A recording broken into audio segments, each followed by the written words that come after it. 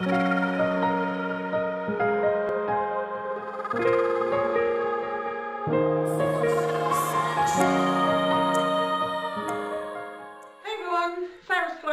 Narcissistic Abuse and Parental Alienation Specialist and this is part four of the series of impact of parental alienation and today we're going to talk about professionals.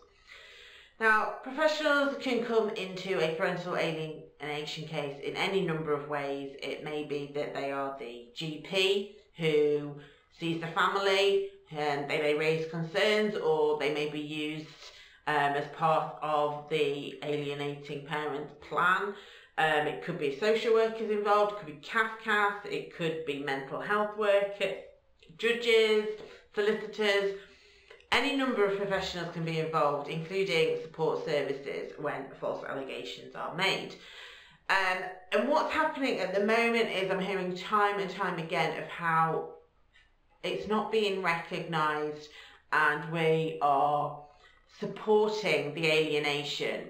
And as a fellow professional, it really pains me because this is our profession. As a social worker, we have a hard enough time anyway.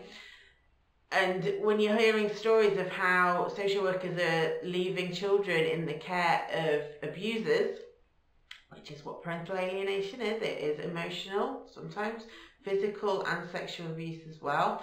And we're leaving them with these people and it really pains me because everyone's going to be slagging social workers off. They do anyway, but with good reason in some of these cases. And I don't say that easily. I don't say that for effect, and I don't say that to be um, controversial in any way. I say it because this is what I'm dealing with. This is this this the cases I'm hearing are so glaringly obvious that something isn't right and yet it's being missed. I'm going to give you a few examples of taking children's words there and then. So when you're, it's very difficult because of time constraints, but if you're working on with someone on wishes and feelings, you need to build rapport with these kids. You need them to trust you. You need to get to know them. You can't just go in, sit down with them and say, okay, what do you want? Because they don't know you. They're going to say what either they've been told to say or they're just not going to know what to say.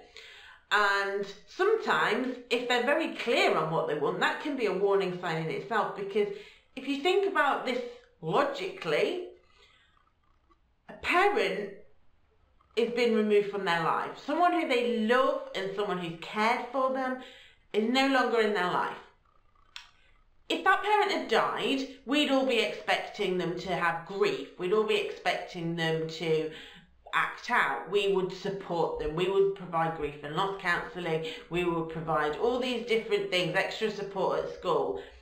This is what happens in parental alienation. It is a grief process that they go through, and yet we think that they're okay because they say they are, or because someone's telling them they've got to say that they're okay. And we accept that, and that to me is unacceptable because we should know that they're not okay. That secure attachment has been ripped out of their lives, and you're choosing to believe from one or two sessions which they could easily have been fed what to say. And we know abusers do that. Again, we're trained to know that abusers manipulate what other people say. They use fear, they use reward, they use lots of different tactics to ensure that their secret is kept. And yet, we're not spotting that in these cases. So even if you believe everything, even if you believe all the reasons that are given for the parent no longer being in life, or you believe that a child doesn't want that parent in their life, you have to know that that's not normal and you have to know that they need support around that. That you wouldn't just remove a child and not put support in place. You wouldn't just uh, expect a parent to die and no support to be in place. So why is this any different? Why are we not providing the same level of support that we would in those cases? That is what infuriates me. It's professional suicide in a lot of cases I, I've had ones where professionals gone over and above, but ended up in relationships because the boundaries are crossed. Narcissists do not have boundaries. Narcissists will treat everyone exactly the same way. They will manipulate, they will love bomb, they will tell you that you're the greatest person ever, flatter you, be be absolutely the best person ever. But then five minutes later, they can absolutely hate your guts if you do something that they disagree with. And our profession, all the other professions, you're all part of this. You all need to piece your pieces together. You all need to talk and communicate. You need to remember your child development theory. You need to understand that these behaviours are not normal. And if it was just about one person, why did they alienate all the rest of the family? That doesn't make any sense, does it? Again, these are the questions you need to be asking yourself. And the impact for professional parental alienation is reputation is going down the toilet.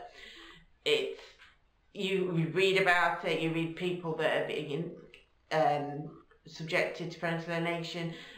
I've just spoken to a lady who her case was astonishing, and she's even had an apology from the agency because it was that badly handled. And we can't carry on like that. Our job is to protect children, and even as a society, our job is to protect children. So no matter what what profession you are in, if you're involved in a child's life or a family's life, your role is to do what's best for that child, and that should always be what's at the centre. And by by making all the, these mistakes and by not being aware and understanding the complexities of parental alienation, that we are failing children in this. So let's have a discussion. Ask me questions Tell me your feedback. Tell me your experiences. If you're a professional, what are your issues? Let me know. I do want to help. I, I'm not here to slate professionals. I still consider myself a social worker at heart. And so I'm on your side. I just want you to be, I don't want you to be slated. I want you to be congratulated on how well you've done. So do get in touch. Um, if you are experiencing parental alienation, you know, you want to know more, email me at inquiries at the, the nurturingcoach.co.uk. Apologies for that. Speak soon. Bye bye.